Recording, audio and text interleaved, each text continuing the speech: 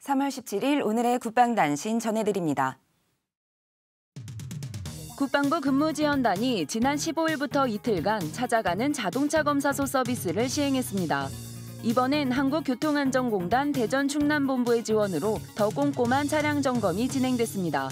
서비스는 검사 시설을 갖춘 대형 화물차를 이용해 이동식으로 차량을 점검했으며 근무지원단은 직원들의 편의와 복지 증진 차원에서 지난 2020년부터 연 2, 3회에 걸쳐 서비스를 제공하고 있습니다.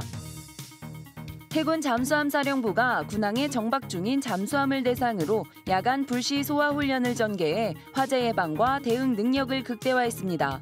이날 훈련엔 진해 기지사령부 소방대와 잠수함사 5분 전투대기 부대, 의무대와 인근의 정박한 함정 승조원들도 참가했으며 화재 조기 진압 능력과 피해 최소화를 위한 역량 체득은 물론 국가 전략 무기 체계인 잠수함의 생존 능력과 전투력도 강화시켰습니다.